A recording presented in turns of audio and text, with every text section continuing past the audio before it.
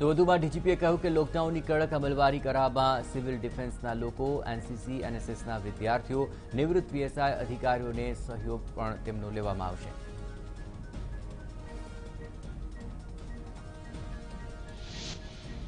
અમદાવાદ શહેર police commissioner આશીષ ભાટિયાએ જણાવ્યું કે અમદાવાદમાં કોઈ લોકડાઉનમાં કુલ આઠસો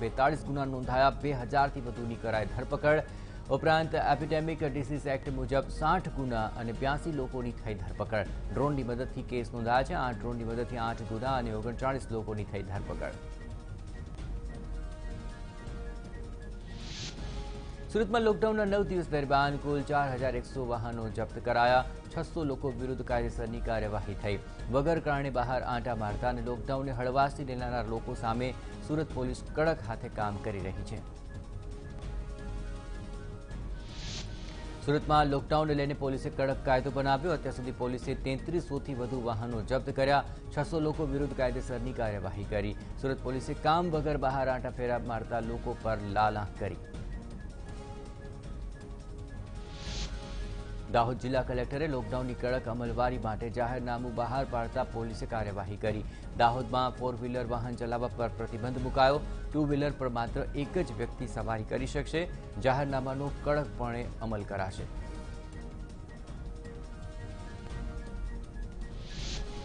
તો અમદાવાદમાં લોકડાઉનને લઈને પૂર્વ વિસ્તારમાં શહેરીજનોની વધી અવરજવર મોટી સંખ્યામાં લોકો બહાના બતાવીને ઘર બહાર નીકળ્યા મણિનગર પોલીસે વાહન ડિટેન કરીને જાહેરનામા ભંગને લઈને કરી કાર્યવાહી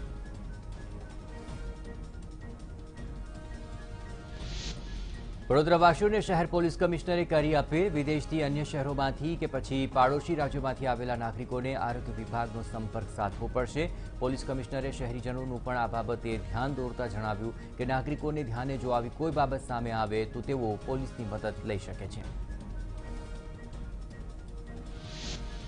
વડોદરા પોલીસ કમિશનરે નાગરિકોને કરી અપીલ વિદેશથી કે અન્ય રાજ્યોમાંથી આવેલા નાગરિકની આરોગ્ય વિભાગે કે પોલીસને કરો જાણ આવા લોકોની કરાશે મફત સારવાર અત્યાર સુધી લોકડાઉન નિયમ ભંગ બદલ બસો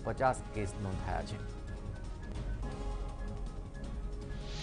વડોદરાના પાદરા જાજપુર રોડ પરના મેદાનમાં ક્રિકેટ રમતા આઠ લોકો ડ્રોન કેમેરામાં ઝડપાઈ ગયા પોલીસે તમામ આઠ લોકોનું વેરિફિકેશન કરીને જાહેરનામાના ભંગની નોંધી છે ફરિયાદ વડોદરામાં ડ્રોન કેમેરાની મદદથી અલગ અલગ વિસ્તારમાં કરાઈ રહ્યું છે નિરીક્ષણ